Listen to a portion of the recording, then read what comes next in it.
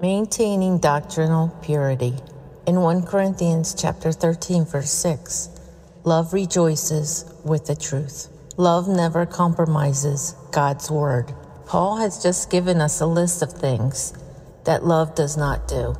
Become jealous, brag, act arrogantly or unbecomingly, seek its own, become provoked, keep track of wrongs suffered or rejoice in unrighteousness. Now he comes to the first of five things love does.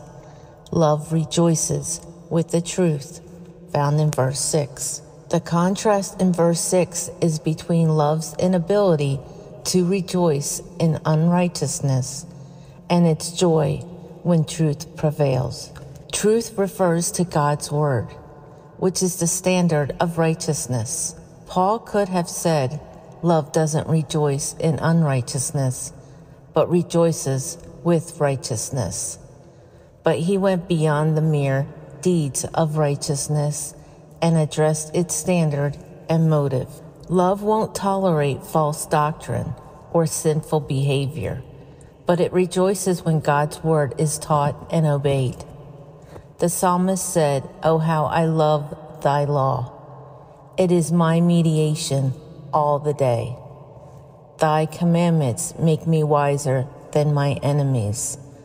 I have more insight than all my teachers. I understand more than the aged. I have restrained my feet from every evil way, that I may keep thy word. I have not turned aside from thine ordinances, for thou thyself hast taught me. How sweet are thy words! to my taste. Yes, sweeter than honey to my mouth. From thy precepts I get understanding. Therefore I hate every false way. Found in Psalms chapter 119, verse 97 through 104. That's the testimony of one who rejoices in the truth. Often Christians are willing to compromise sound doctrine for the sake of loving others. They believe that doctrinal precision is somehow divisive and unloving. But scripture says this is love, that we walk according to his commandments. For many deceivers have gone out into the world, those who do not acknowledge Jesus Christ as coming in the flesh. This is the deceiver and the antichrist. Watch yourselves that you might not lose what we have accomplished, but that you may receive a full reward.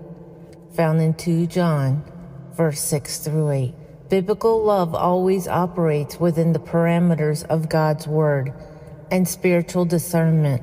The most loving thing you can do is live according to biblical truth.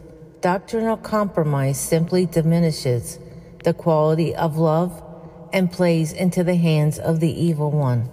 Ask God for wisdom and discernment to keep your love within its proper biblical bounds. Amen. God bless you. Until next.